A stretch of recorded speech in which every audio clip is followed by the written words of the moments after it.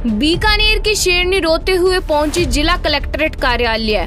Police department मुर्दाबाद मुर्दाबाद। Police department मुर्दाबाद मुर्दाबाद। हम आपको बता दें इंस्टाग्राम इन्फ्लुएंसर बीकानेर की शेरनी के सोशल मीडिया पर रील बनाकर मादक पदार्थ अफीम का प्रचार करने के आरोप में पुलिस द्वारा गिरफ़्तार दो युवतियों में से एक युवती मोनिका राजपुरोहित के गायब होने के बाद आज परिजनों ने जिला कलेक्ट्रेट पर प्रदर्शन कर पुलिस पर गंभीर आरोप लगाए हैं। युवती की बहन सोनू राजपुरोहित व माँ ने आरोप लगाया है कि पुलिस उन्हें तंग व परेशान कर रही है। सोनू ने बताया कि उसकी बहन पाँच दिनों से लापता है। पुलिस उनकी बहन को ढूँढने में कोई मदद नहीं कर रही है, बल्कि उल्टा हमें ही तंग कर रही है। माँ बेटी ने दो युवकों पर उन्हें फंसाने का भी आरोप लगाया है। पुलिस डिपार्टमेंट मुर्दाबाद मुर्दाबाद। पुलिस डिपार्टमेंट मुर्दाबाद मुर्दाबाद। पुलिस डिपार्टमेंट मुर्दाबाद मुर्दाबाद। पुलिस डिपार्टमेंट मुर्दाबाद मुर्दाबाद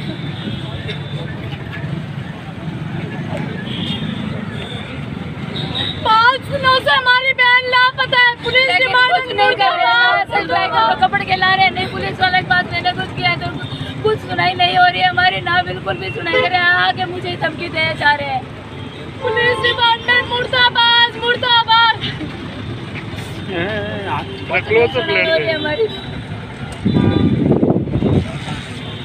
मैं बीकानेर की शेरनी मेरा नाम है सोनू राज पुरोहित और मेरी सिस्टर लापता है। अभी तक नहीं मिली। पाँच दिन हो गए मेरी बहन को घूमे और पुलिस वाले हमारी सुनाई नहीं कर रहे। वो उल्टा हमें ही धमकाया जा रहा है और हमें ही परेशान किया जा रहा है। अब आपकी क्या डिमांड है? बच्चे का हम बोल रहे हैं हमारी बहन को ढूंढा जाए। पुलिस वाले कह रहे हैं खुद ढूंढो और तुम्हारा काम जाने। कहाँ गई आपकी बहन? नहीं पता। कुछ नहीं पता। कुछ तो कह के गई होगी वो? नहीं कह के गई कुछ। पुलिस पुलिस के दबाव में आया। हाँ, है। पुलिस वालों ने बहुत मारा है पुलिस वालों के बारे में वो बोल के भी गई है और जो जो उसे परेशान करते उन दोनों का नाम भी लिया S S Tiger and Mohit Soni क्या क्या मामला? मामला ये है कि हमें झूठा फंसाया गया है। कहते हैं कि तुम रील्स बनाते हो वीडियोस बनाते हो फ़िल्म का जो तुमने प्रचार किया है तुम्हारे घर में डोडे मिले हैं दो सौ ग्राम। वो हमें पास में झूठ भी नहीं। वो हमें झूठा फंसाया गया है सिर्फ़। हमारे यहाँ डोडे नहीं मिले थे नहीं मिले थे। एक वीडियो आया था जिसमें अमल खाते हुए दिख रही वो हो वो गुड़ है है, वो सही है नहीं है वो गुड़ है गाय वो हमें फंसाने का एक टारगेट है कि एक गुड़ है और वो साजिश है मोहित सोनी की आशीष टाइगर की फंसाने की। और वो मजबूर किया गया है हमें वीडियो बनाने के लिए मेरी बड़ी सिस्टर को जो लापता है अभी नहीं मिल रही। और पुलिस वाले हमारी सुनाई नहीं कर रहे। आज क्या आज कहाँ आई हो? आज कलेक्टर कलेक्टर पर कलेक्टर के पास। बच्ची नहीं मिल रही है आज मैं ढूंढ रही हूँ तरह तरह की ठोकर लगा रही हूँ मेरी बच्ची कहाँ पर लापता है लेकिन पुलिस वालों ने कह रहे कहना ये है कि मेरे पास में बच्ची है मैंने कहा मेरे रिश्तेदार मेरे परिवार जहाँ का भी है मेरे फ़ोन प्रेस में डाल लो ढूंढ लो लेकिन मेरी बच्ची मेरे पास में नहीं है मेरी बच्ची ला के दो। पुलिस वाले ने मारा कुटा किया तो इसीलिए बच्ची मेरी गायब है। नहीं मिल रही है। वो वीडियो भी बना के गई है ऐसे टाइगर के ऊपर और मोहित सोनी के ऊपर पुलिस वालों के ऊपर। क्योंकि गई है मुझे इतना टॉर्चर कर दिया है मैं घर छोड़ के जा रही हूँ आत्महत्या करूँगी। कौन है ऐसे टाइगर? ऐसे टाइगर सुरेश राज पुरोहित है। ये क्या करता है? कौन है?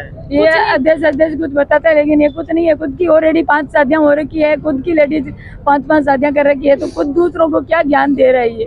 सोनी सोनी मोहित सोनी है तोलिया सर के पास में गाँव है उसका। डूंगरगढ़ के पास मोबाइल मोबाइल पुलिस वालों ने रख लिया उसी टाइम जो बच्ची को लेके गए उसी टाइम रख लिया था।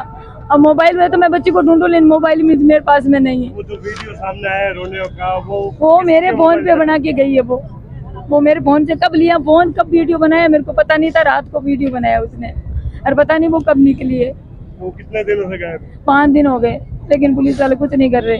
अब आपकी क्या डिमांड मेरी यही डिमांड है मेरी बच्ची को ला के दे जो मेरी बच्ची को गायब किया पुलिस वालों ने किया है जैसा टाइगर ने किया है या ने। मैंने लिखा के पहले दे चुकी हूँ। आपने पुलिस अधिकारियों पे आरोप भी लगाए हाँ, लगा- मांग रहे हैं? हाँ मांग रहे हैं। डेढ़ लाख रुपए दे देते तो मैं ये केस वहीं रपा दपा कर देती लेकिन मेरे पास उसी टाइम डेढ़ लाख रुपए नहीं थे। वहाँ पुलिस डिपार्टमेंट में बड़ा अफसर है उसने मांगे थे। चार पाँच पुलिस वाले थे। ना मेरे को नहीं आ रहा है? ये ब्याज कॉलोनी थाने की है। अच्छा। डेढ़ लाख रुपए डेढ़ लाख रुपए मांगे थे लेकिन मेरे पास में नहीं है। डेढ़ लाख रुपए मैं कहाँ से लेकर दूँ